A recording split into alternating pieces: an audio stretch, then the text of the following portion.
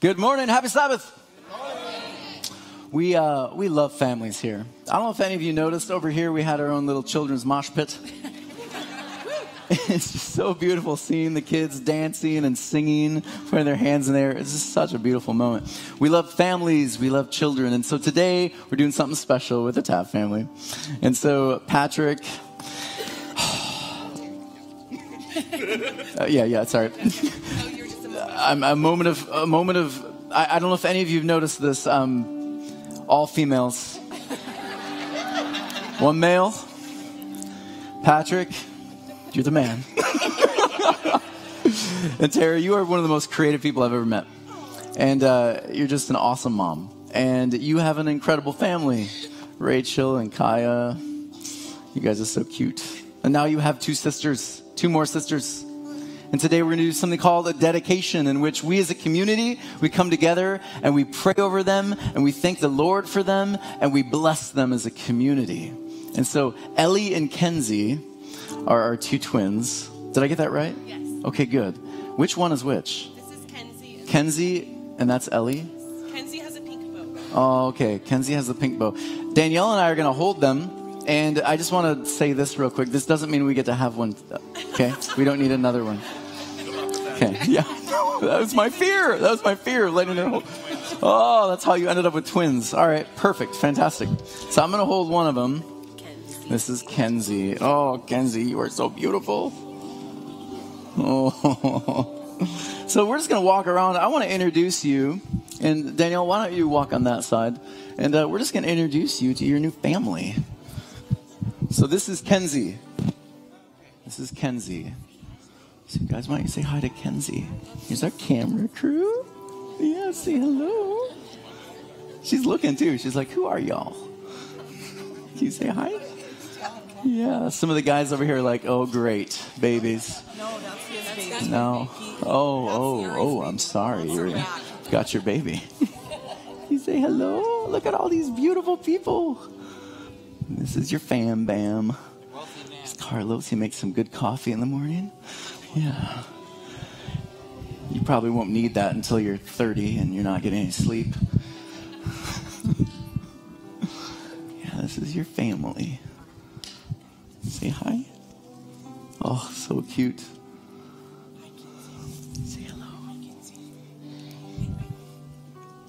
And so, as a church today, we're going to take some time and pray over you, not just that you get some sleep, but that these beautiful little souls will continue to know God and walk in paths of life and righteousness and truth. And so we're going to bring up some of our leaders. So uh, if you're a leader here, first service, just come on up and we're going to lay some hands on you and we're going to pray together.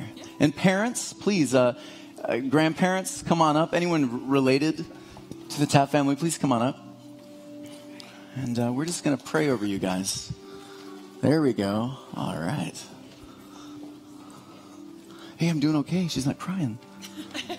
They're, they're pretty chill. Oh, okay. Well, there we go. Anyone could. I mean, it's all you. oh, good. That, that's what I want to hear. Yeah, good job, Tony. So, so let's uh, let's lay lay hands on this amazing family, and we're going to say a prayer together. God, we thank you so much for this family. And Lord, right now, we pray a special blessing over Patrick. And Lord, he has the opportunity to help raise four amazing little girls.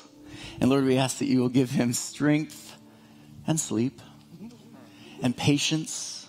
Let him be the kind of dad the little girl finds her value and beauty, and let him tell them every day how wonderful they are and that they have a daddy that loves them. God, I thank you for Terry. I pray you will give her more and more amounts of energy that even coffee can't give her. And Lord, I pray you'll give her patience and love and let it just spill over everywhere she goes. We thank you that she's doing such incredible work with kids all over, but especially these ones here. Let her have so much patience and love and let her creativity spill over into her children's lives. We thank you for their two sisters, Kaya and Rachel. And Lord, let them know that there is enough love in the family for everybody. And let them begin to share that love with their new sisters. And Lord, please, please let us as a community learn to embrace this family. So today with Ellie and with Kenzie, we want to thank you and pray that you will bless them in tremendous ways. Lord, whatever direction they go with their lives and their careers, we pray that you will let them be a beacon of hope and life more abundantly to everyone they touch. And Lord, as a community, let us be there to help them, mentor them, give them life and love, good examples of how to walk in that life. We thank you for these two beautiful little girls. And as a community, we want to raise them up to you and bless them. In your name we pray, amen. Raise your hand. Raise your hand if you're here to support this family. Raise your hand. There are all of your babysitters.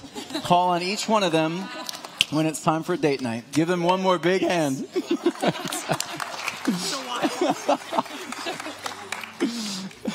we love you guys, and uh, we are here on this journey with you.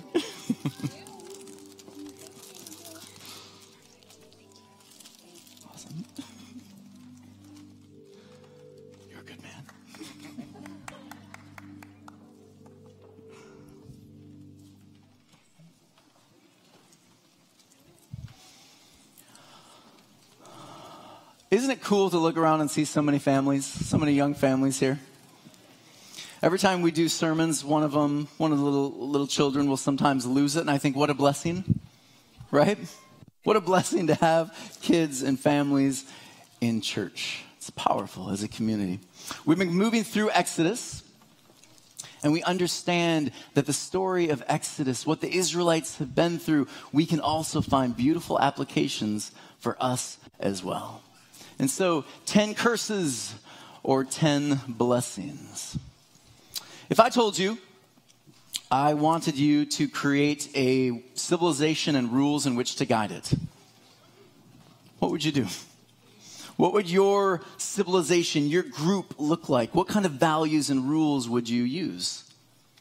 I would say, well, Tony gets uh, 50% of your income. Um, you might create some really interesting rules if you're only focused on you. But if you're focused on the betterment of the community, well, you might have some interesting ideas and, and concepts to bring to the whole.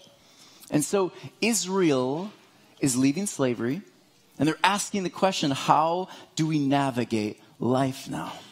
I have a friend, he's a grandfather now, and his, uh, his grandkids, they were talking about this place called Burning Man, an event in the, the I guess, the middle of the desert somewhere. And his kids were saying, It sounds so fun. There's so much art and this and this and this. I'm not promoting Burning Man by bringing it up. Please understand. But he listened and he thought, You know what? I'm going to go. I'm going to go. He's over 70. I'm going to go. And so he went. And he said, Sure enough, there were some things there that he thought, Ooh, all right, not my thing. Not my thing. But he said there were other elements of Burning Man that kind of surprised him. He said, as he was walking through some of the tents, people would stop and they would ask him to join them in eating whatever food they were eating. Never once asked for anything in return. He said all week long, he just kind of walked around and people invited him in. Never asked him, What do you believe? Who are you? What's your past? What's your occupation? They just invited him in. And I found out one of the values of this group is that they value radical inclusion. And I thought that's kind of interesting. One of their mottos, now get this, as Christians, we should smile about this. One of them is everyone's welcome around the table. Interesting, right? Also, when they leave, they leave the place as good, if not better, than when they left it. That's the goal, I guess. Interesting, some of the rules they created around their group. How many of you ever heard of the U.S. Constitution? You should. it's kind of important. As a as a country, our forefathers came together and said, How do we now live in freedom? What are the things that we should value? So they started, We the people, we believe this and this and this. All men are created equal. Now, as we have moved and grown into a deeper awareness of life, we've started to ask some questions. What does it mean all men are created equal? What about women? And we've begun to create these amendments to this, and we've made it bigger and it's more, more encompassing. It's a beautiful document. There's some people right now that have decided they're going to try to create floating islands 60 miles out from sea. They want to do this so that they're not connected to a country. They have all of the expenses ready. They are at the place where they can start building anytime. The problem is, none of them can agree on a way to govern their island. Isn't that funny? That's happening right now. How you govern, how you decide to live and navigate is so important. And so for Israel, they said, How do we navigate this new reality? What do we do? What do we value? And that's what they're doing when they get to Mount Sinai. Again, a mountain, a place where there's expectancy. Something big is going to happen here. Every time mountains come into the picture in the story, there's always something powerful that's going to take place. And so, I feel like this is not quite working. There we go. And so, stay there. So they get to the uh, they get to the bottom there of Mount Sinai. They're waiting at the foot of the, the mountain. And sure enough, Moses' father-in-law shows up. Husbands, don't you love when father-in-laws show up? They show up and they say, "Huh, I would have done that a little differently." Am I right? Huh? You using a, using a hammer on that? Okay. It's your cabinet. Jethro shows up. Jethro sees how they have been ordering things. He sees Moses, and every single conflict that comes goes right to Moses. And Moses deals with every single one. How many of you think that's a great recipe for disaster? Yeah. Leadership that takes on every single conflict, every single problem. You know what happens to them? They retire. You're exhausted. It's exhausting. And that's why you have all these great books right now on leadership that say learn to empower people. Find talents, help people bring something to the table, empower them. And Jethro says to him, The work you're doing is too heavy. There's too much for one person to do. And so he says to Moses, He says, Select capable men. And I would argue in our culture, select capable men, women, teenagers, children. Select capable people of doing certain things. I was so proud of our church. Most of our nominating committee this year was made up of a bunch of new people, many teenagers. Can you believe that? Teenagers said, We want to be a part of nominating committee. Come on, that's weird. We have some weird young, young adults here. But that they said, we, We're invested. We want to be a part of it. And so select these people, empower them to do great things. Moses chooses to do this, and we have our first judicial system set up for Israel. Moses is then told, Go to the mountain. There's going to be a covenant between God and his people. The word covenant, barit, it means it's, it's a signed document or, or this agreement between someone and someone else. So if I was an empire and I took over your empire, here's what I would do I would sign Barit. And I would say, here's the new way you're going to order things. It could be better or it could be worse. And so this is the idea historically behind a covenant, Barit. And what happens there is Moses says, take three days. Take three days to consider your journey and our journey as a people. And after you do that, we're going to make some commitments to each other. I'm learning it's important sometimes to stop and take time to consider your journey. Three days is always synonymous with a process of death and rebirth over and over and over again in Scripture. And so, the last couple weeks, I've been trying to reconsider, reevaluate my journey. And I've had to say, what am I committed to? And so I'm going to share with you my three main commitments. My first commitment is this I want to be a great father and husband. That's my first commitment. And so everything I do, I want to try to make everything I do fall within that commitment. The second commitment I've decided I want to be committed to. I want to learn to be a grounded individual in the middle of nominating committee, in the middle of conflict, in the middle of whatever it is. I want to learn to be a grounded, centered person. Thirdly, I want to learn to be the kind of person that loves growth, spiritual, educational, physical. And I'm not talking about this growth because that seems to be happening a lot to me lately. Growth. I want to be someone that embraces it. And so, what I'm going to be doing this week, and here's my challenge to you I want you to take a, a, a dry erase marker. I hope you heard that part so no mothers are angry with me. Take a dry erase marker. I want you to take time, consider your commitments. Write three commitments on your mirror, your bathroom mirror this week. Write three of them.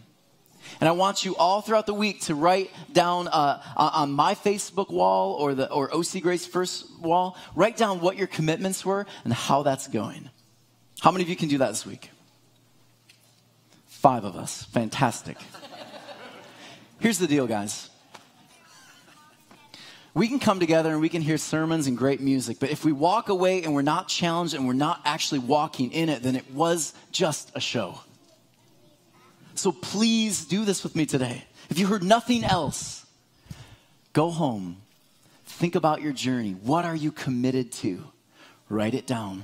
Here's the beauty of writing it down now. My wife is going to see my commitments.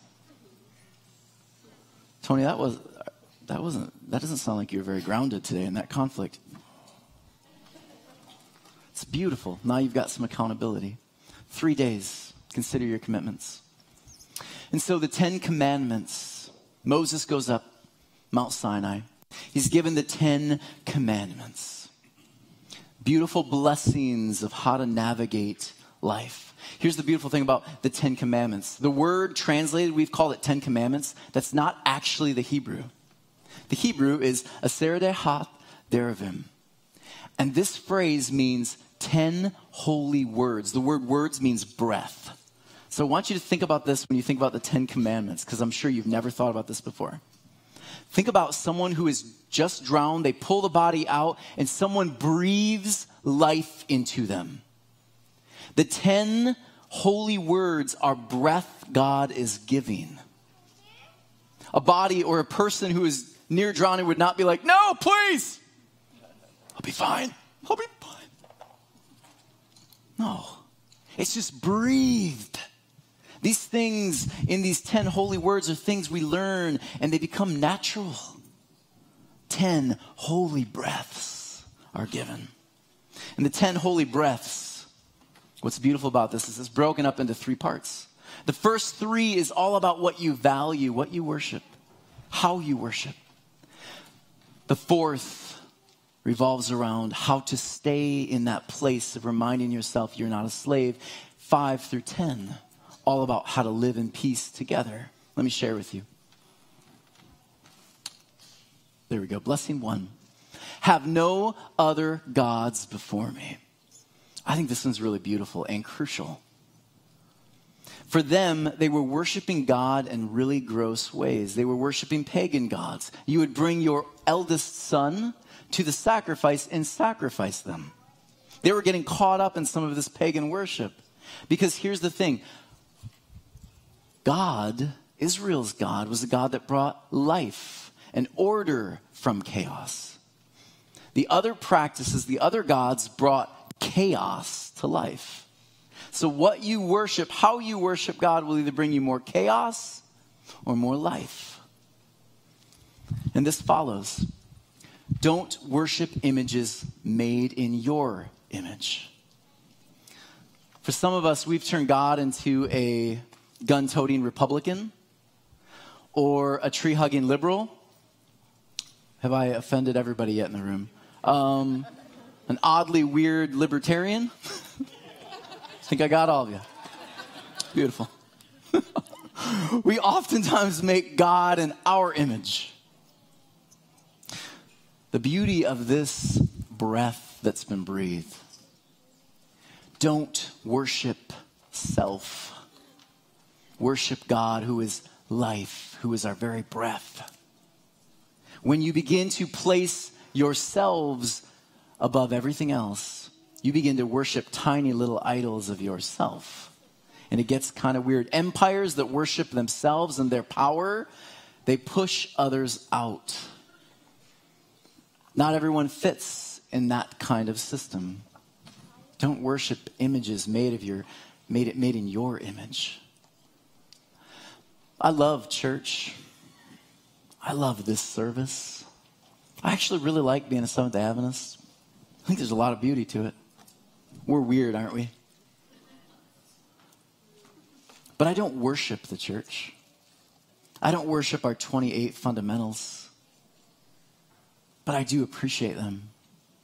And I've learned to value what we have. But I don't worship the church. I worship the God who is above the church.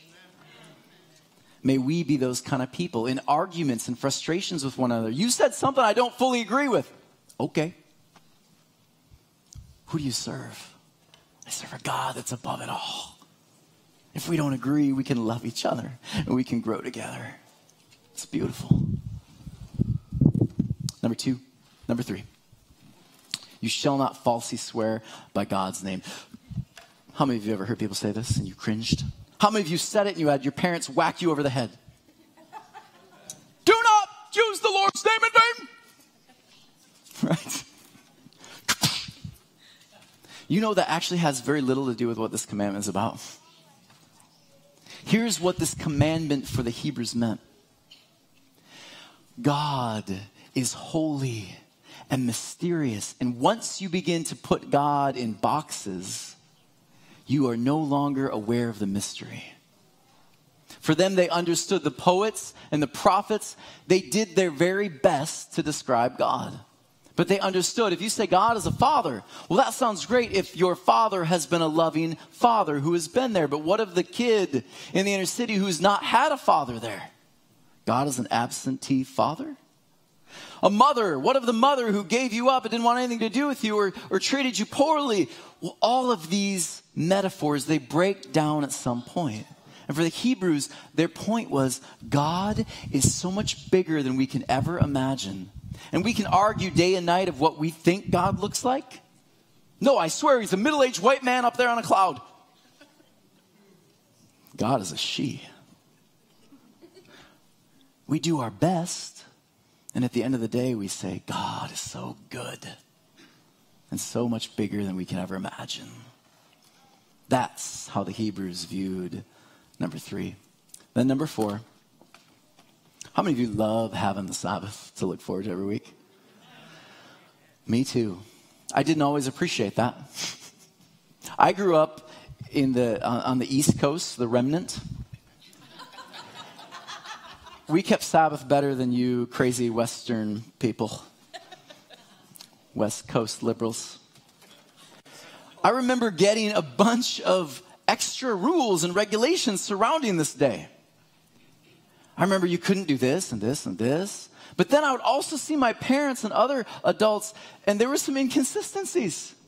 See, for me, growing up in the East Coast, my parents would say, You cannot spend money on the Sabbath, don't go out to eat. Unless you were on vacation. you can't spend money. But then we would go to the zoo, and I'd see my dad, like, you know how it goes. He's kind of, Take it, take it. Do you want your change? Just go. we started calling my dad out. Well, it's, it's nature, Tony. Sometimes you got to pay for nature. got it. Got it. I remember some of my friends, my good Christian, good Adventist friends, they, I heard stories about they would be driving in their car. And of course, like, don't ever talk to them about, well, why didn't you just fill it up on Friday? That's not part of their story. The needle's on E. And I heard, I hear these stories of my friends. They would be like, we just prayed to God. And there was this beautiful holy wind that just blew our car for another 60 miles. Good on you. So some, some of my friends in high school, we had that same problem. And we prayed. And we ended up in the middle of the Upper Peninsula with no gas. And one of our fathers had to come and fill up the tank. And I remember being like, wow, how does this work? Are they, does God listen to them better because they observe the day better than me? What, what is the deal? And then I began to understand the beauty of this day. The beauty of Sabbath was that it is a day in which you stop and you remind yourself, I am not a slave. I'm not a machine that works every single day, day in and day out. I'm made for something so much bigger. And so on that day, I'm slowly learning because I put it in my commitment to put my phone away, or at least not within reaching distance. Because really, it doesn't matter what you just ate today on your Instagram. It shouldn't. I should be fully present with my family. You should be more alive today than any other day in the week because you have the freedom to do so. That's Sabbath. What a beautiful blessing, a, a, a fresh breath of air. Sabbath. And then we have these other commands, 5 through 10, how to live together in harmony. Honor your father and mother. Listen to the wisdom of the older generations. Now, here's the deal. When I was a teenager, I was far smarter than my father. Teenagers are just smarter. Just know. As I grew a little bit older, I started to realize, huh, maybe my dad is changing.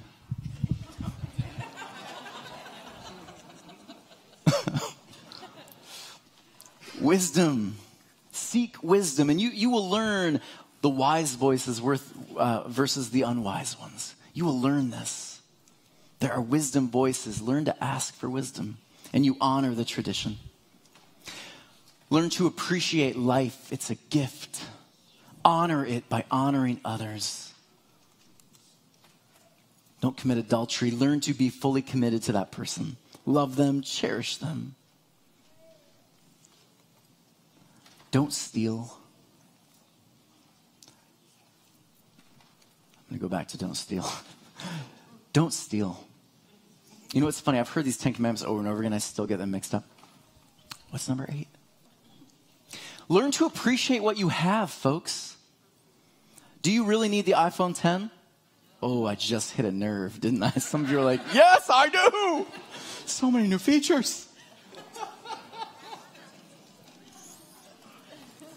Learn to appreciate what you have. And when you do that, you are no longer needing to steal and take from other people. You learn to like what you have, enjoy what you have. Don't bear false witness. For this time period, there were many that would take others to court and they would fabricate certain things or there would, there would be really loosely things that didn't quite fit. All because a certain group of people want to hurt another person. And so the idea with don't bear false witness was that you think the best of the person first. And we've actually incorporated this into our judicial system today, haven't we? Guilty, or I feel like that's innocent until what? Yeah, we learn to think the very best of people. And then we come together as a community and we redeem. That was the process. It wasn't to crucify or hurt redeem. Don't covet. Again, learn to appreciate things, sometimes without owning them. Here's the beauty of the iPhone 10. Some of you fools are going to buy some. and I'm going to enjoy watching you play it, and I'm going to borrow it sometimes. Some of you will buy that nice new truck, and I'm going to use it when it's time to move things I appreciate you owning that thing. Me tell you. These 10 beautiful breaths, gifts from God, were meant to bring you freedom. Freedom. They were meant to give you breath. They're not meant to be these rules and regulations that you have to keep, and if you don't keep them, God's going to be angry with you. Not the point of the beautiful breath God's given. The breath enables you to breathe. Consider that. It enables you to breathe fully.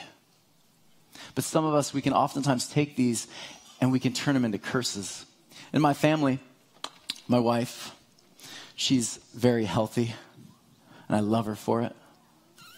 It's frustrating when you're getting older and you, you know, you, muffin top is going, then you look at your wife and you're like, oh, she still looks the same, maybe better. It's hard to keep up.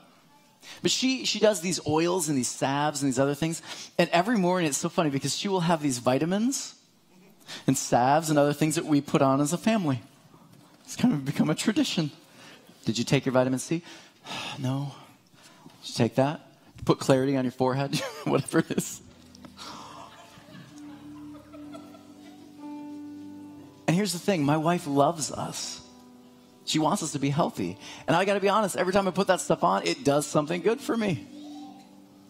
But if I decided I'm only going to I'm only going to take the pills and do these things to make my wife happy, at some point in time that relationship is going to break down because I'm not doing it in order for me to feel wholeness, to be healthy. I'm doing it just to appease her. And at some point, I'm going to get frustrated with the pills and the oils and the fragrance. And at some point, I'm going to begin disliking my lovely wife. I might even start making extra rules and regulations. When you take these pills, you're going to have to take a whole cup of uh, apple cider vinegar. How's that? And then you're going to have to smile. And then after taking them, you're going to have to sleep all day. Right? If I do that with these beautiful gifts, it has the potential to absolutely ruin relationship. And I will at some point in time simply stop taking them. So, the beauty of this, these 10 breaths God has given, is that we simply have to do this. When He gives it, we go like this breathe it in.